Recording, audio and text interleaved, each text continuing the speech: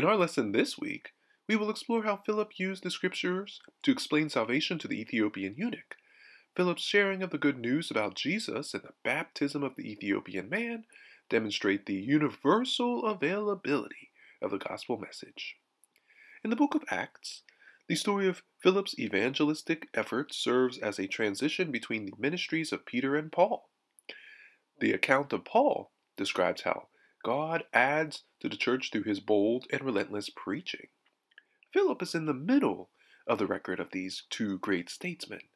Philip's efforts add to the church soul by soul. And that brings us to our key verse for today, which reads As they rode along, they came to some water, and the, and the eunuch said, Look, there's some water. Why can't I be baptized? Acts chapter 8, verse 36. We should note that while Peter and Paul are noted for their great preaching ability, Philip was outstanding in the area of obedience. Whenever the Spirit directed him, Philip heeded. Because he was so sensitive to the direction of the Holy Spirit, it is clear that prayer and the study of God's Word must have been integral parts of Philip's life. On the road, Philip encountered a fellow traveler.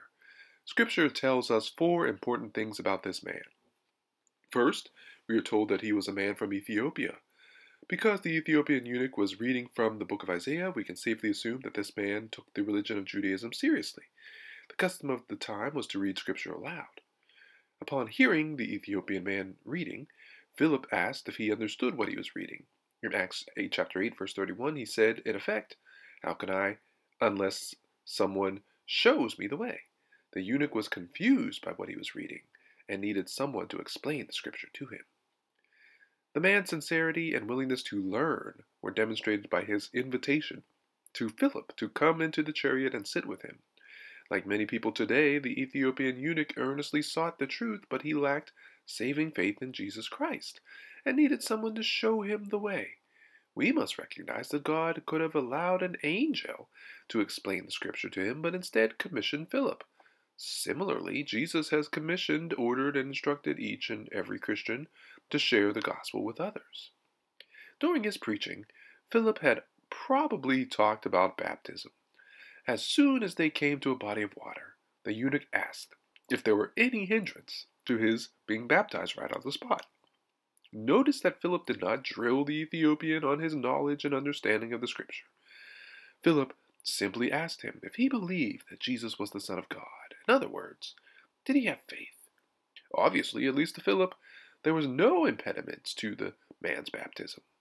Philip and the man entered the water, and the Ethiopian was baptized. At this moment, another prophecy of Isaiah was being fulfilled.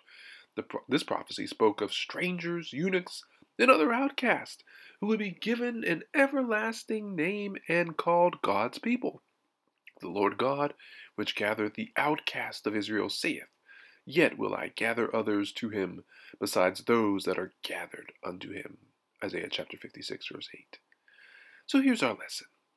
When Philip then was finalizing his successful missionary work in Samaria, the Spirit ordered him to go to, to Gaza.